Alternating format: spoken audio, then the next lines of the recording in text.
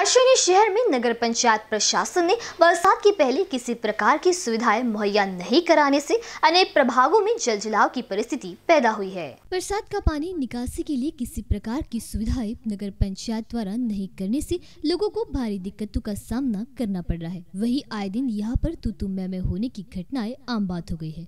नगर पंचायत प्रशासन को इस बारे में बार बार अवगत कराने पर भी इस और ध्यान नहीं दिए जाने से निवासी लोगों में नगर पंचायत के खिलाफ रोष पनपता जा रहा है। मुख्य रास्ते पर पानी भरा होने से यहाँ के लोगों को पानी में ही रास्ता खोजना पड़ रहा है। रास्ते में जगह जगह दरारें पड़ी है। कीचड़ की वजह से लोगों को आने जाने में भारी दिक्कतों का सामना करना पड़ रहा है। निवासी इलाके में रास्ते के बीचों बीच बहता पानी जाने के लिए पाइप डाले जा रहे हैं, जो पूरी तरह टूटने से वहाँ पर गड्ढे पैदा होने से दुर्घटनाएँ आए दिन होती रहती है। अनेक प्रभागों में पक्के रास्ते नहीं होने से यहाँ के निवासियों को जैसे तैसे मजबूरी में आना जाना करना पड़ रहा है। नगर पंचायत शहरों को साफ़ सुथरा रखने के लिए प्रति महीना जहाँ लाखों रुपए खर्चा कर रही है तो शहर के इलाकों में गंदगी का माहौल दिखाई दे रहा है। इस और नगर पंचायत प्रशासन ने ध्यान देना ज़रूरी होते हुए समस्या का समाधान करना ज़रूरी था, जो समाधान तो दूर की बात, शहर में मुसीबतों का अंबार लगा हुआ है। बहुत सी जगह रास्ते उखड़े है, गिट्टी उखड़ी है, जो रास्तों पर पड़ी है। आवाजाही को बाधा निर्माण करने के लिए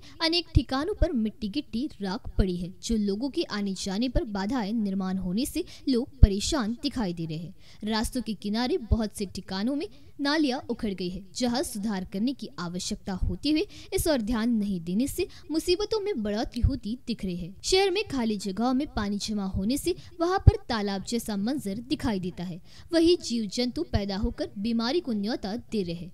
करोड़ों रुपए शहर में विकास कामों पर खर्च करने की बात कही जा रही है, पर यहाँ का नज़ारा देखते हुए करोड़ों रुपए खर्च करने की बात खोखली साबित होती दिख रही है। खाली प्लॉट में पानी भरने से लोगों को भारी परेशानियाँ झेलनी पड़ रही है। वही गंदगी जहाँ वहाँ निर्माण होती जा रही है। नालियों में बिछाई गई सीमेंट की पाइप टूटी है। इस और भी यहाँ के पार्षद ने ध्यान देना ज़रूरी था। रास्ते में पड़े गड्ढों को मुरम से भरना ज़रूरी था। वह भी नहीं किया गया, जिसकी वजह से रास्ते पर चलना बड़ी मुसीबत होती दिखाई दे रही है। प्रभागों में बारिश का पानी जमा होने से उसे वह पानी निकालने के लिए नगर पंचायत ने इंतज़ाम करना ज़रूरी था, पर वह भी नगर पंचायत प्रशासन नहीं कर सकी, जिसकी वजह से यहाँ रहने वालों को आए दिन मुसीबतों का सामना करना पड़ रहा है। नगर वासियों द्वारा मांग की जा रही है कि शहर में बारिश के पानी से हो रही मुसीबतों से छुटकारा पाने के लिए नगर पंचायत ने पानी निकासी के लिए इंतज़ाम कर लोगों को मुसीबतों से राहत दिलाने के लिए कार्य करना ज़रूरी है। वही रास्ते पर पड़े गड्ढे में मुरम भर कर उसे भरा जाए, जिससे लोगों की मुसीबत कम हो। शहर में नियमित साफ़ सफ़ाई पर ध्यान दे, जो बीमारियों से लोगों को छुटकारा मिले। नालियों की दुरुस्ती करे साफ़ सफ़ाई करे, कच्चे रास्तों पर मुरम बिछाया जाए, जो आने जाने वालों को राहत दे सके। इस तरह की मांग नगर वासियों द्वारा की जा रही है। बीसीएन न्यूज़ के लिए पार्शोनी से रुपेश खंडारे की रिपोर्ट।